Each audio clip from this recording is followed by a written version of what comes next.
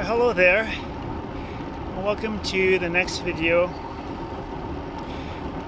Today is two days after Calgary 70.3, which was a stepping stone race for me.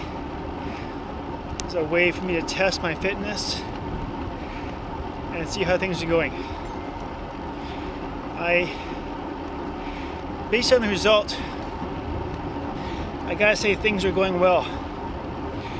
I ended up having one of my best ever races, or best race in a long time.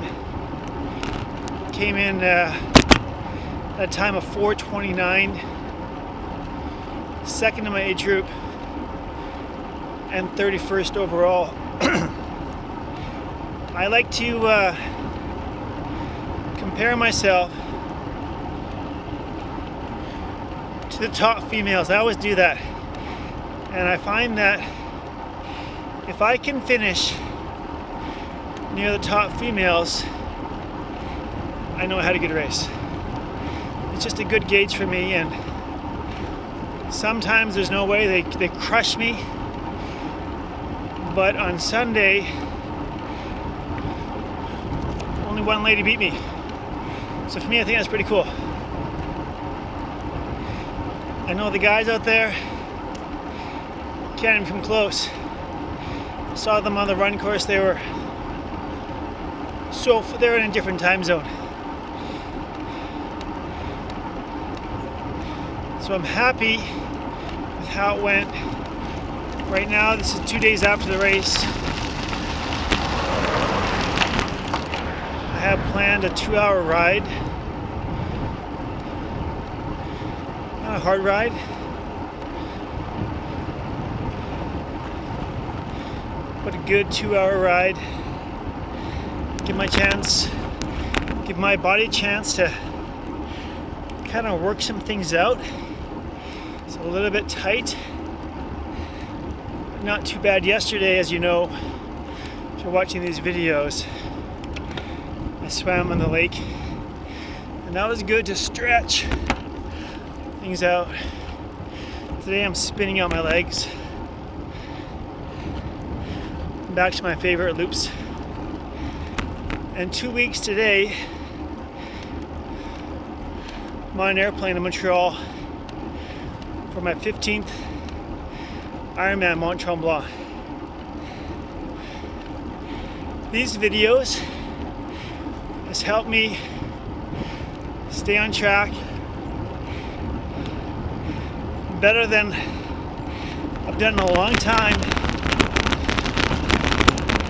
they provided me motivation, encouragement, and focus each day. Like, for example, today, it would have been very easy, very, very easy to say, Todd, you just had a killer race on Sunday. You're tired. Take the day off. You deserve it. Take it off, let your body recover, and chill out. And it would have been totally fine. Like, totally fine. Because of my plan, I know I have to make a video.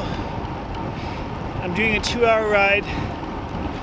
Not hard, steady, cruising through because I know by doing so, it will take my fitness and turn it a little bit to the right. And that's where I want to be.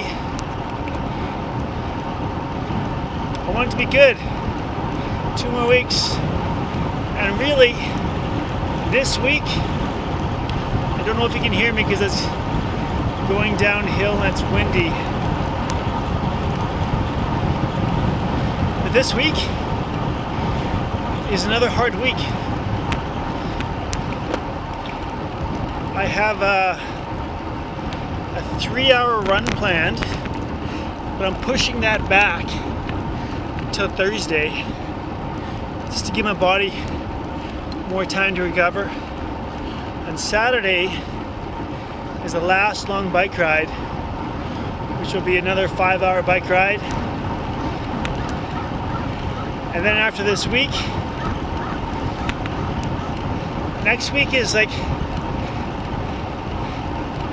not not hard at all. Then the following week, travel. Then it's race week. It's gonna be very, very good. And so I know that I'm not finished the videos yet, but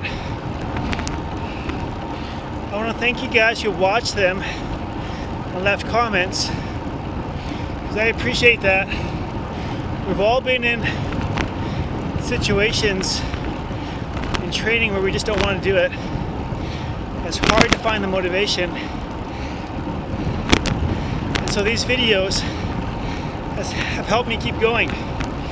So I'm to say thank you for that. Turn off the video and I'll see you guys tomorrow.